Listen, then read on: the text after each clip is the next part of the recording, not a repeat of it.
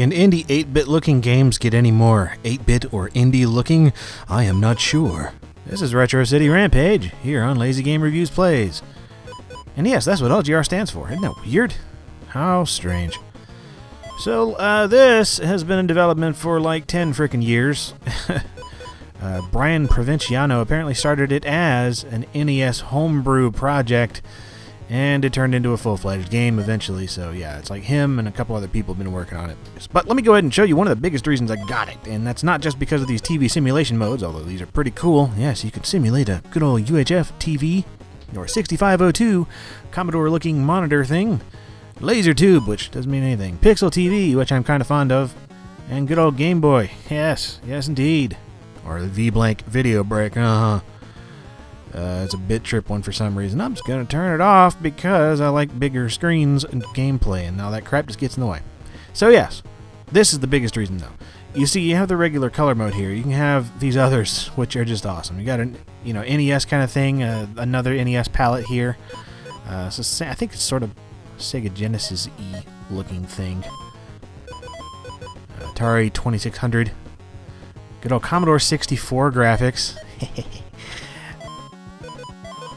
uh, Apple II, which is pretty cool. I like that. But, yeah, this is why I got it. You got friggin' EGA graphics here, PC EGA, as well as CGA version A and B. so you can, it's a modern game that you can play with CGA graphics or something approximately like them, or even MDA. Yes, monochrome.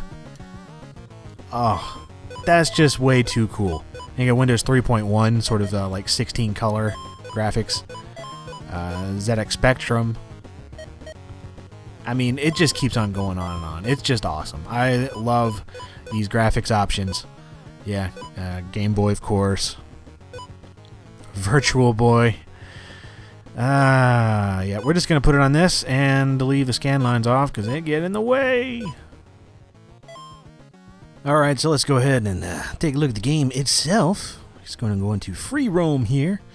And I'm going to play as player because I haven't unlocked Super Meat Boy or Bit Trip Runner or the Minecraft Dude or any of that. But I do have a rocket launcher. Ah ha ha ha.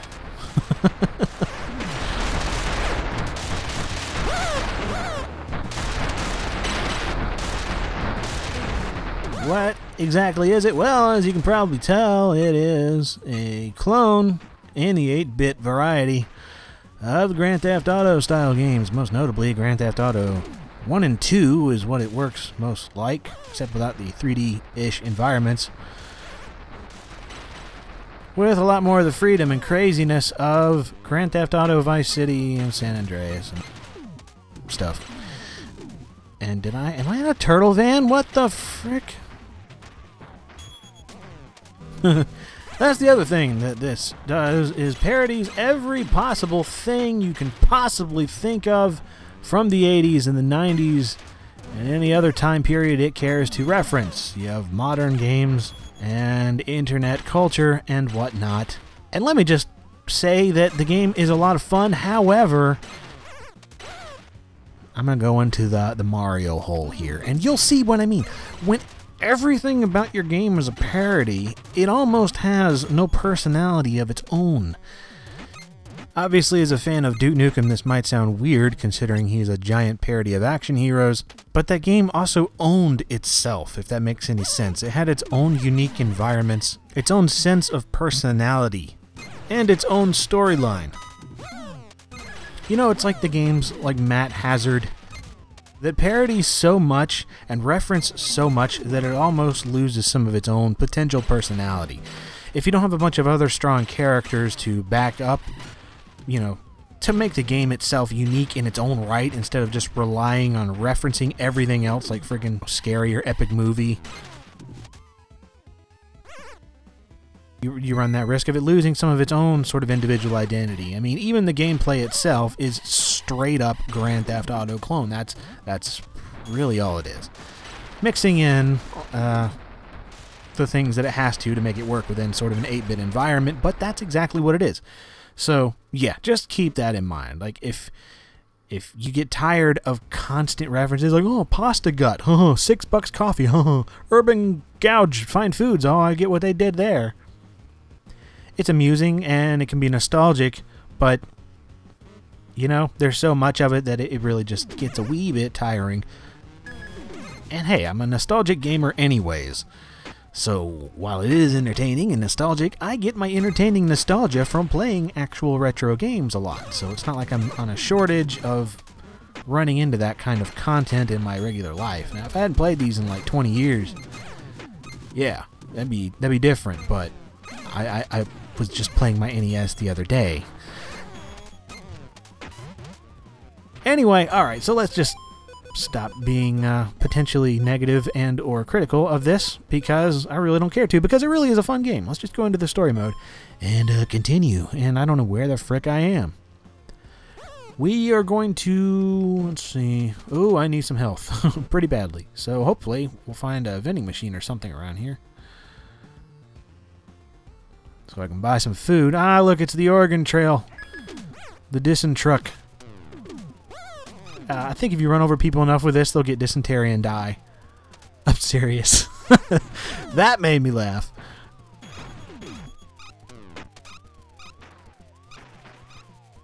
But I do like that it references a lot of things that I wouldn't think it would reference. Like there's a place that looks like uh, the bar from Leisure Suit Larry in the Land of the Lounge Lizards, and then there's a payphone outside of that that says uh, Ken said to call or something. Yeah, like here's a payphone over here. Don't kill me, please shoot these freaking cops first.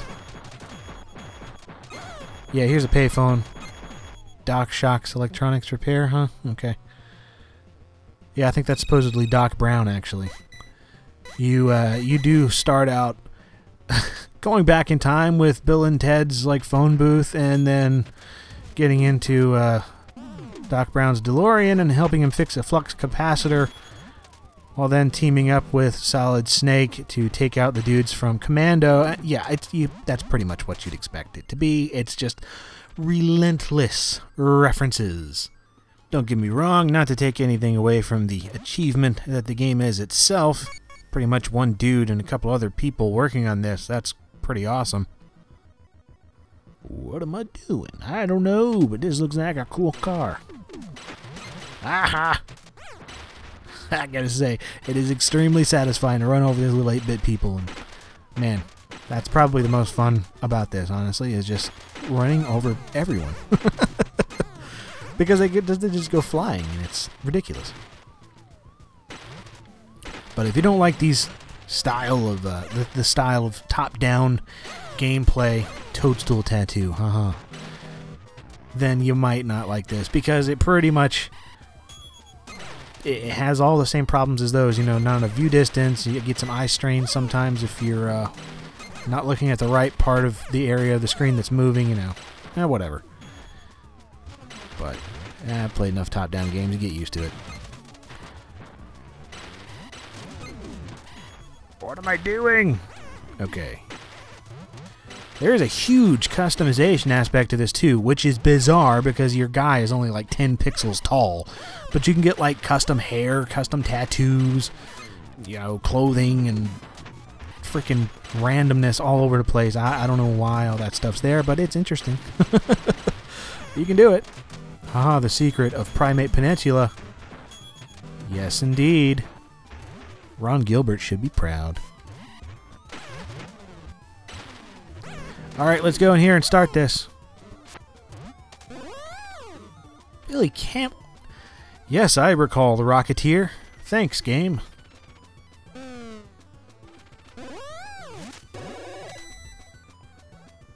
Ah. Uh, it's not quite a rocket, but it is, what is this, a Tanuki suit or something? Oh my goodness.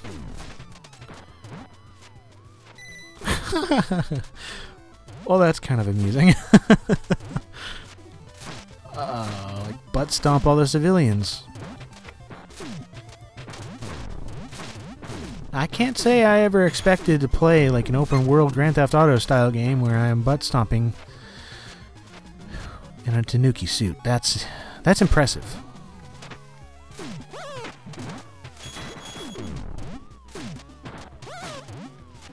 How many am I supposed to do? I guess it doesn't care. Powered down? What? I guess I can't destroy the suit.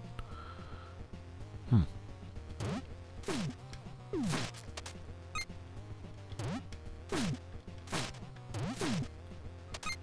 Yeah, sometimes the objectives are not very clear in these missions, and that's probably the most aggravating thing about this.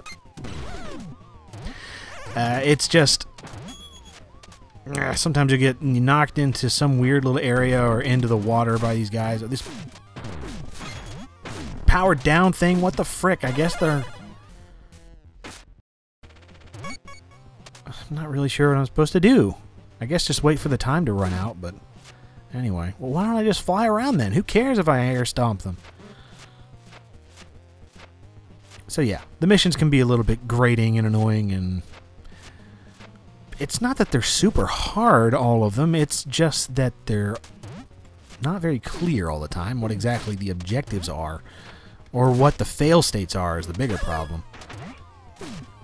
Well, there was one I'm doing where I was supposed to uh, get a taxi to some other side of the city, and it was just a huge problem because you have to be at full speed all the time and not hit anything. The sprites are so small, and the car control is a little bit wonky at times, so that's probably my fault. But still, it was very, very tough to pull off. Just because of the limitations of this kind of game, being top-down and all that. So, yeah. Okay, I have completed your arbitrary task, sir.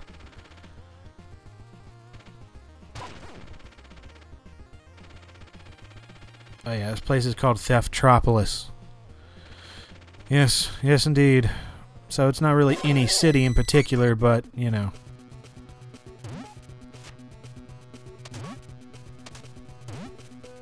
What is this? Haircuts?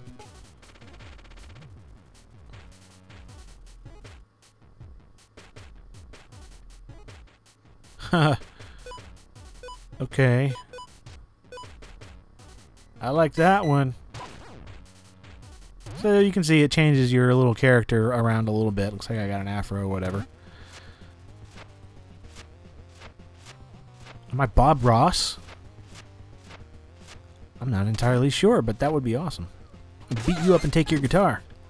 Turn you into a happy little tree. Or a pulp on the sidewalk, whatever.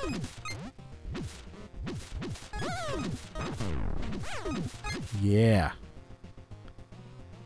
Oh, that one's pretty funny. Yeah, Perigee. Instead of Apogee, you've got uh, Scott Miller's Shareware BBS here. I think there's another reference. Misused apostrophes. Now that's that's kind of funny.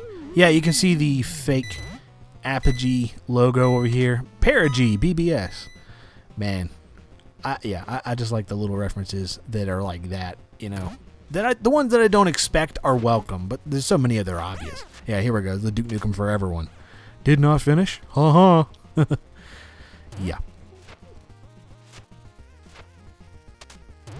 So I guess I'm I'm potentially biased as far as what I like references of.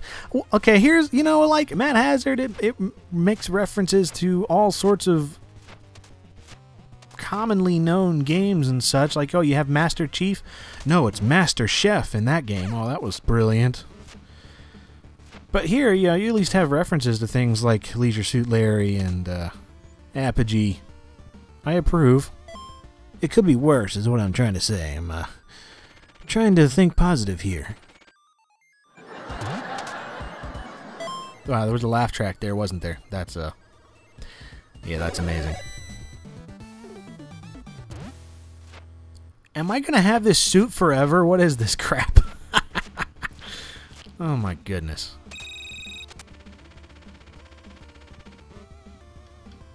Okay.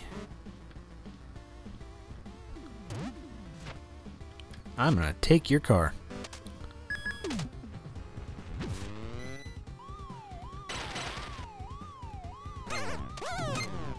Not really too much else to say about this game, honestly, because it's pretty straightforward. I mean, what you see is what you get.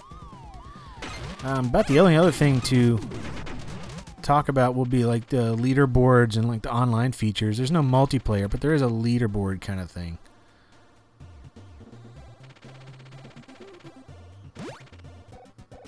Okay.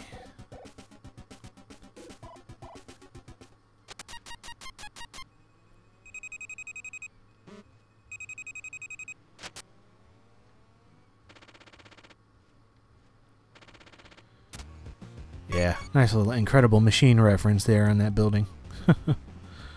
uh-huh, see, I remember Incredible Machine. okay. Oh, frick. I'll just fly over all you guys. Man, this thing is this this suit is like completely game breaking almost. Completely almost, yes. That is the kind of top notch opinion you get here in LGR.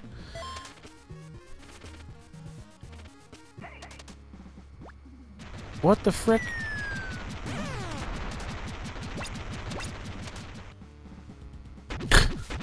Not exactly Heath Ledger, but definitely a Joker character.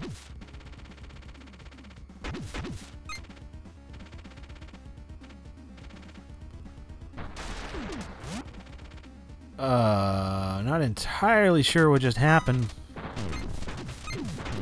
That's got one heck of an awesome golf club, that's for sure. The smooth touch. Okay, yes. Uh-huh, I get it. Um, see if I can find one of those random events things. Because you can see here, you do have leaderboards. So, yeah. Oh man, this guy's played a bunch. So you can do things and sort of compete or whatever, but yeah, there is no multiplayer. Another reason I'm sort of eh about this is just the fact that it does cost $15. And, uh, well, you know, not that I'm saying it's not worth it, but it's not worth it. if it were like five, eight, nine dollars, something like that, I'd be a tad more inclined to say, heck yeah. But the fact that I've gotten much more fulfilling $15 games in recent years, well, that's that. One that's definitely worth getting, but it's just right on that threshold of being a little bit iffy. For me. Definitely going to be a personal preference kind of thing. Am I still on a mission? Yes, I guess I am. I just want to find one of those random uh, events somewhere. Haha, soybean green. The people's protein. Or are the people protein? Hmm. Uh, whatever, let's just start one from the main menu. Got arcade challenges here. Yes, here are some of the ones that I have found. Oh yeah, this one's pretty fun. So you just get like a rocket launcher and try to blow everything up, and you have an uh, infinite amount of health. So it is good times. These are pretty much like the Rampage or Psycho, whatever the frick modes they are on uh, like the Saints Row games. So, yeah, you just try to do as much damage as possible in the amount of time given with the weapon given. So, good stuff. Although I gotta say, you walk slow enough, so it's sometimes hard to actually line this up. Uh, plus, it uses this twin stick kind of system, at least if you have a, a gamepad. I'm not sure. I haven't actually used the mouse and keyboard on this because it seems weird. So, yeah, one direction shoots, the other direction moves. it also has a lock-on system of some kind, I think, that you can do without that. New record! Yay! I surpassed somebody. Communism is king. What kind of friends do I have? anyway, um, yeah, do I have much more to say about this? Not really. It's pretty much a game. Pretty unique, except for all the things that it steals from everyone else. Although that's kind of the point, so I really guess I can't fault it for that. Uh, right now, it's out on Steam for the aforementioned $14.99.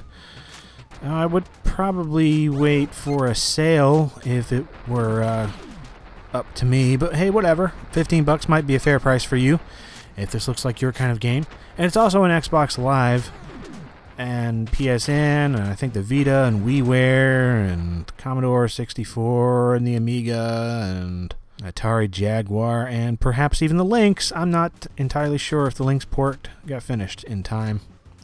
Absolute chaos, a bit unfocused, but a crap load of fun when you're just kind of zoning out. Story mode, take it or leave it. Millions of references, they just all blend together after a while, so. That is that. Retro City Rampage, LGR Plays, Saran Wrap, Lucasfilm Games, Doritos, Burger King, Taco Bell, X Men, Ham Sandwiches, Vulcanized Rubber, Mailboxes, Windows Vista, Clear Pepsi. See, I can do random references for no reason too.